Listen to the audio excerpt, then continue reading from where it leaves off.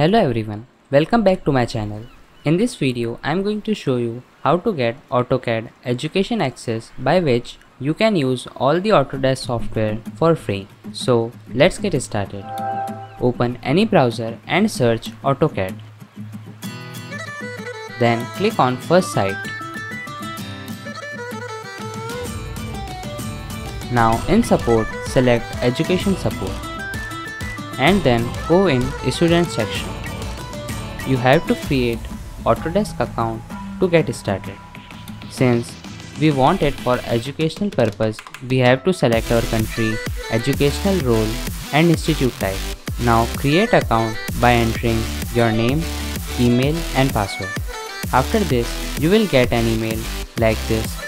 So just click on it and your account will be verified. On site, click on continue then it will ask your institute name, enrolled date and expected graduation date. After filling these, our account is set. Now we just have to verify our institute document and to do that click on get started then confirm the details you have entered.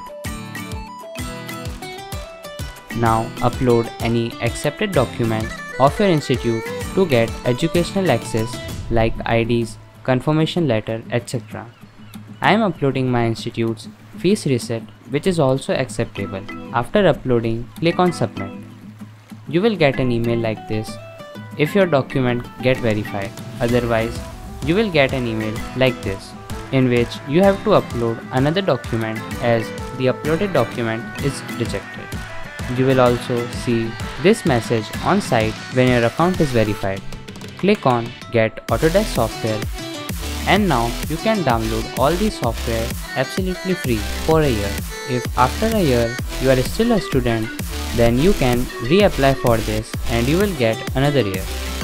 I hope my video was helpful to you and if you have any questions related to Autodesk then you can comment under the video. Thanks for watching.